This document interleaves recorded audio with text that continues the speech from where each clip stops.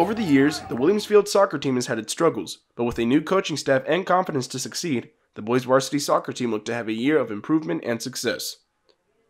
This year, me being new to the new to the boys program, um, I talked to them about what what their strengths were as a program and what their identity was, and they talked about not really having an identity. So we set that as a goal that we wanted to this year. We wanted to kind of lay the foundation is, is the word we basically used for for the boys program going forward. Uh, team chemistry is mostly important in soccer because you need to communicate, know where people are at. It's about it's a, it's a lot of a mental game. It's legit. If you have all in the same, if you're on the same mindset, you should win. When being on this particular level, one of the foundations you have to lay is developing a strong bond with your teammates. We don't have a lot of not even club players uh, compared to like all the other teams in our league. I think as a team, like we're like really close to each other. I think a lot of us have been with each other for a while, so it makes it a lot more tight.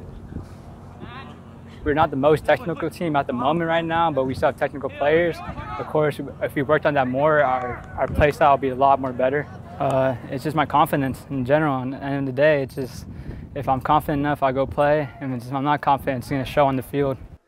The Williams Field boys varsity soccer team has gone through a rough few years. In 2018 to 2019, they were 1 and 11. Moving on to 2019 to 2020, they were 0 and 12. But now from 2020 to 2021, a 4 and 5 record shows the improvements made. This was recently showcased in a 6-2 win over Centennial High School.